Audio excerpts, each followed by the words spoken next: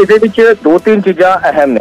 ਹਾਲਾਂਕਿ ਹਜੇ ਦੋ ਦਿਨ ਪਹਿਲਾਂ ਹੀ ਜਿਹੜਾ ਸ਼ੰਭੂ ਬਾਰਡਰ ਨੂੰ ਪੂਰਾ ਹਰਿਆਣਾ ਸਰਕਾਰ ਨੂੰ, ਹਰਿਆਣਾ ਪੁਲਿਸ ਨੂੰ ਇਹ ਆਰਡਰ ਦਿੱਤੇ ਗਏ ਨੇ ਕਿ ਹਫ਼ਤੇ ਦੇ ਅੰਦਰ ਅੰਦਰ ਇਸ ਦਾ ਜਿਹੜਾ ਬੈਰੀਕੇਟਿੰਗ ਉਹ ਹਟਾਈ ਜਾਵੇ ਤੇ ਰਾਸਤਾ ਜਿਹੜਾ ਹੈ ਖੋਲਿਆ ਜਾਵੇ।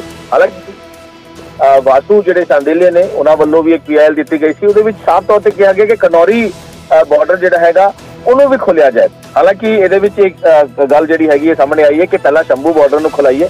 ਔਰ ਉਸ ਤੋਂ ਬਾਅਦ ਜਿਹੜਾ ਹੈਗਾ ਉਹ ਖਨੌਰੀ ਬਾਰਡਰ ਨੂੰ ਵੀ ਖੁਲਵਾਇਆ ਜਾਏਗਾ। ਤੁਹਾਨੂੰ ਦੱਸ ਕਿ ਅੱਜ ਅ, ਇਸ ਸਾਰੀ ਚੀਜ਼ਾਂ ਨੂੰ ਲੈ ਕੇ ਭਾਰਤ ਸਰਕਾਰ ਦੇ ਤੇ ਪੰਜਾਬ ਤੇ ਹਰਿਆਣਾ ਦੇ ਐਡਵੋਕੇਟ ਜਨਰਲ ਵੀ ਪੇਸ਼ ਹੋਏ ਸੀਗੇ ਔਰ ਕਾਫੀ ਦੇਰ ਇਹਦੇ ਤੇ ਜਿਹੜੀ ਗੱਲਬਾਤ ਹੋਈ ਹੈ।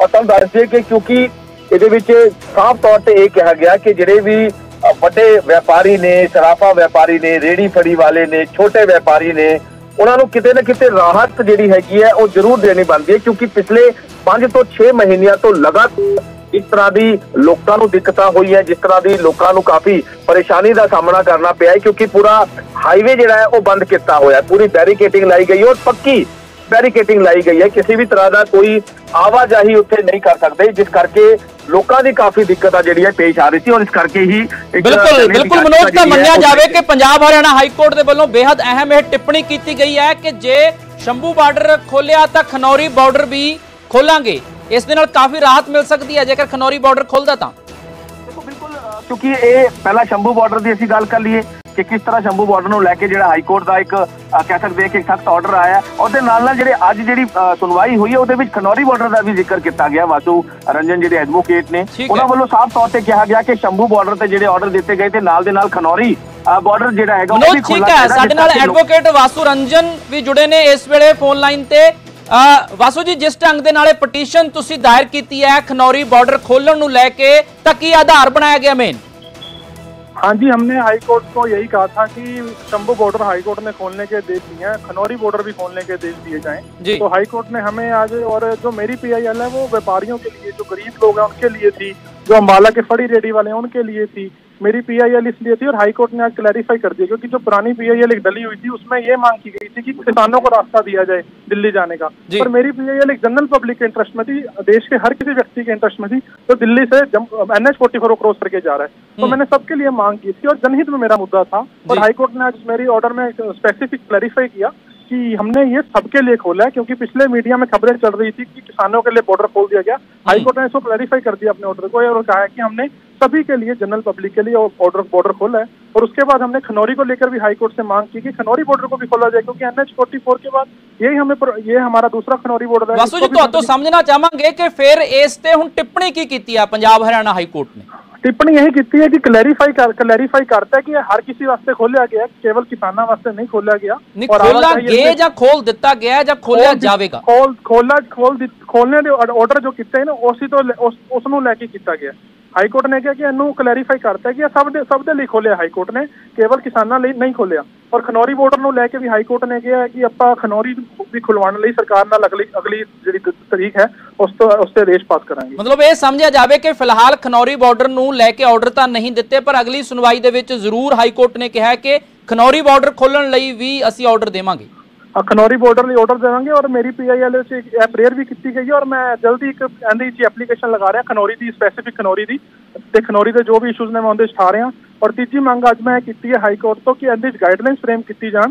ਕਿ ਜੋ ਵੀ ਐਨਐਚ ਹਾਈਵੇ ਕਦੇ ਵੀ ਕੋਈ ਵੀ ਬਲੌਕ ਨਾ ਕਰ ਸਕੇ ਔਰ ਅਗਰ ਕੋਈ ਐਸਾ ਕੋਈ ਕੰਮ ਕਰਦਾ ਹੈ, ਉਹਦੇ ਉੱਪਰ ਐਫਆਈਆਰ ਉਹਨੂੰ ਅਰੈਸਟ ਕੀਤਾ ਜਾਵੇ ਤੇ ਹਾਈ ਕੋਰਟ ਨੇ ਕਿਹਾ ਕਿ ਤੁਹਾਡੀ ਸਾਰੀ ਮੰਗਾਂ ਨੂੰ ਆਪਾਂ 7 ਅਗਸਤ ਨੂੰ ਜਿਹੜੀ ਅਗਲੀ ਤਰੀਕ ਹੈ ਉਸ ਤੇ ਸੁਣਵਾਈ ਕਰਾਂਗੇ। ਅੱਜ ਇੰਪੋਰਟੈਂਟ ਜੋ ਹਾਈ ਕੋਰਟ ਨੇ ਕਲੈਰੀਫਾਈ ਕੀਤਾ, ਉਹ ਇਹ ਕੀਤਾ ਕਿ ਖਨੌਰੀ ਜੋ ਸ਼ੰਭੂ ਬਾਰਡਰ ਹੈ ਹਰ ਕਿਸੇ ਲਈ ਖੋਲਿਆ ਗਿਆ ਠੀਕ ਹੈ। ਇੱਕ ਐਡਵੋਕੇਟ ਵਾਸੂ ਰੰਜਨ ਜੀ, ਇਹ ਵੀ ਸਮਝਣਾ ਚਾਹਾਂਗੇ ਕਿ ਪਿਛਲੇ ਦਿਨਾਂ ਤੋਂ ਚਰਚਾ ਇਸ ਤਰ੍ਹਾਂ ਦੀ ਵੀ ਸੀ ਕਿ ਐਕਸਪੈਰੀਮੈਂਟਲ ਤੌਰ ਤੇ ਖੋਲਿਆ ਜਾ ਰਿਹਾ ਹੈ। ਜਾਂ ਫਿਰ ਪੱਕੇ ਤੌਰ ਤੇ ਸ਼ੰਭੂ ਬਾਰਡਰ ਖੋਲਣ ਦੇ ਆਦੇਸ਼ ਪੰਜਾਬ ਹਰਿਆਣਾ ਹਾਈ ਕੋਰਟ ਦੇ ਵੱਲੋਂ ਦਿੱਤੇ ਗਏ? ਕਿਤੇ ਨਾ ਕਿਤੇ ਨਾ ਕਿਤੇ ਹਾਈ ਕੋਰਟ ਦਾ ਜਿਹੜਾ ਆਰਡਰ ਹੈ ਉਹਦੇ ਚ ਐਕਸਪੈਰੀਮੈਂਟਲ ਬੇਸ ਤੇ ਖੋਲਣ ਦੇ ਆਰਡਰ ਹੋਏ ਨੇ। ਜੀ। ਪਰ ਐਕਸਪੈਰੀਮੈਂਟਲ ਦੀ ਬੇਸ ਦੇ ਅੰਦਰ ਕੋਈ ਲੋੜ ਨਹੀਂ ਹੈਗੀ। ਇੱਕ ਵਾਰ ਬਾਰਡਰ ਖੁੱਲ ਕੇ ਆਵਾਜਾਈ ਸ਼ੁਰੂ ਹੋਗੀ ਸਭ ਕੁਝ ਹੋ ਜਾਏਗਾ। ਔਰ ਕਿਸਾਨਾਂ ਨੂੰ ਵੀ ਹਰਿਆਣਾ ਸਰਕਾਰ ਜਾਣ ਦੀ ਇਜਾਜ਼ਤ ਦੇ। ਔਰ ਮੈਂ ਕਿਸਾਨਾਂ ਨੂੰ ਇਹ ਅਪੀਲ ਕਰਨਾ ਚਾਹਾਂਗਾ ਆਪਣੀ ਸ਼ੋਬਾਜ਼ੀ ਹੁੱਲੜਬਾਜ਼ੀ ਕਰਕੇ ਨਾ ਜਾਓ ਆਪਣਾ ਗੱਡੀਆਂ ਨਾਲ ਜਾਓ ਜੰਤਰ ਮੰਤਰ ਤੇ ਬੈਠੋ ਅੰਦੋਲਨ ਗਰਾਊਂਡ 'ਚ ਬੈਠੋ ਜਾ ਕੇ। ਦਿੱਲੀ ਤੋਂ ਵੱਡੇ ਵੱਡੇ ਫੈਸਲੇ ਹੋਏ ਨੇ। ਅਸੀਂ ਕਿਸਾਨਾਂ ਦੇ ਨਾਲ ਹਾਂ ਦਾ ਨਾਰਾ ਮਾਰਦੇ ਹਾਂ।